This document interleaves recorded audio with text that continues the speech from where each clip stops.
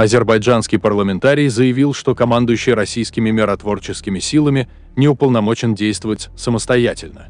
Передает Ази Ас. Сегодня Россия тоже проводит антиазербайджанскую политику. С одной стороны, трехстороннее заявление, подписанное Путиным, с другой стороны, заявление Лаврова против Азербайджана.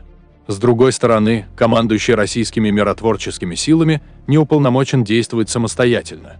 По сути, это не миротворцы, а проармянские силы. Как сообщает АПА, об этом на сегодняшнем заседании Миллы и Меджлиса сказал депутат Фазаил Агамалы.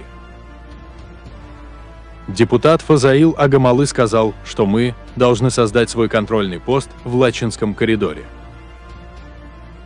Он также подчеркнул, что контрпропагандистская кампания Ирана против Азербайджана, как и контрпропагандистская кампания Франции, будет продолжаться.